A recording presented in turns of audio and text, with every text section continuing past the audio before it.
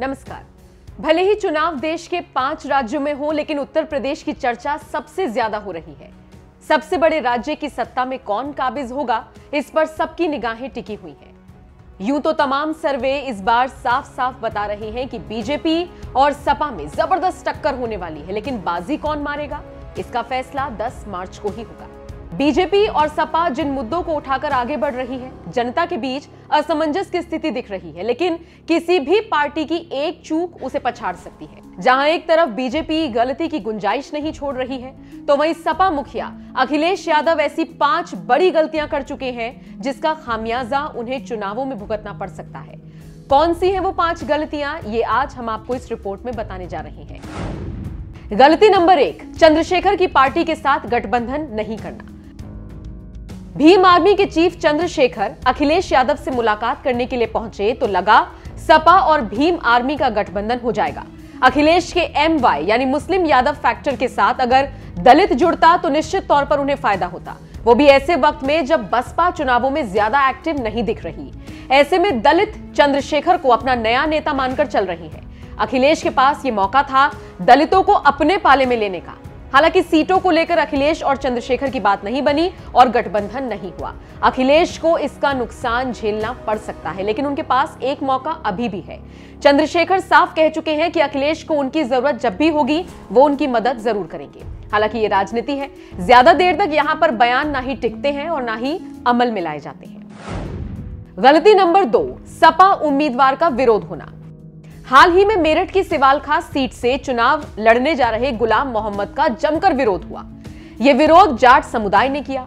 अब चुनावों में पश्चिम यूपी कितना अहम है, ये किसी से छिपा नहीं है। सपा के साथ गठबंधन करने वाले जयंत चौधरी भले ही भाईचारे की दुहाई दे रहे हों, लेकिन यह भी सबको ध्यान रखना होगा कि पश्चिम यूपी में मुसलमानों की भी बड़ी संख्या है। ऐसे में मुस्लिम कैंडिडेट तो खड़ा कर दिया गया और नया संदेश देने की कोशिश की गई। लेकिन जाटों के बड़े तबके को भी नहीं भूला जा सकता। ऐसा ना हो अखिलेश जयंत की जोड़ी का ये जो एक्सपेरिमेंट किया गया है, ये उल्टा पड़ जाए। गलती नंबर तीन, अपर्णा यादव का बीजेपी ज्वाइन करना। अब तीसरी सबसे बड़ी खामी सपा की नज़र आती है अपने ही घर में सेंधमारी होने देना। मुलायम की छोटी बहू अपर्णा यादव बीजेपी में शामिल हो गई। अखिलेश से सवाल हुआ तो उन्होंने साफ़ कह दिया, नेताजी ने रोकने की कोशिश की थी, लेकिन वो मानी नहीं। हालाँकि सूत्र बताते हैं कि अपर्णा और प्रतीक की अखिलेश और डिंपल से बहुत कम बनती है। पारिवारिक मतभेद वक्त रहते सुलझा लिए जाते तो शायद राजनीतिक मतभेद न होते। गलती नंबर चार, बाहरी के आने से अपने नाराज़ होने का खतरा। पिछले कुछ दिनों में योगी सरकार के कई मंत्री और विधायक सपा में शामिल हुए तो अखिलेश ने इसका जमकर प्रचार प्रसार किया। अखिलेश ने इस तरह से पेश किया जैसे ये सपा की बहुत बड़ी उपलब्धि है। लेकिन देखा जाए तो अखिलेश के सामने ये बहुत बड़ी चुनौती है। दरअसल अगर सपा मुखिया बाहर से आए नेताओं को मौका देते हैं तो अपने रूठ जाएँगे और अपनों को मौका देते हैं तो बाहर से आए नेताओं का विरोध शुरू हो जाएगा। सबको मैनेज करना अखिलेश के लिए बड़ा चैलेंज होगा। गलती नंबर पाँच, नाहिद हसन पर मचा बवाल। अखिलेश यादव ने पहले तो शामली की कैराना विधानसभा सीट से नाहिद हसन को टिकट देने का ऐलान किया। टिकट के ऐलान के बाद नाहिद हसन ने कोर्ट में सरेंडर कर दिया।